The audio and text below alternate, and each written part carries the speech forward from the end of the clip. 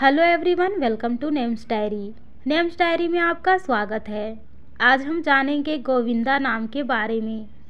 गोविंदा नाम का अर्थ, भगवान कृष्ण होता है। इनका राशिफल कुंभ और शुभ अंक आठ होता है। इस राशि से संबंधित लड़कों की औसत लंबाई तीन होती है। इस राशि से संबंधित लड़के मेहनती, अकलमंद, साहसी, प्रतिभाशाली एवं महत्वाकांक्षी होते हैं। ये अपनी मेहनत से हर काम को आसान बना देते हैं।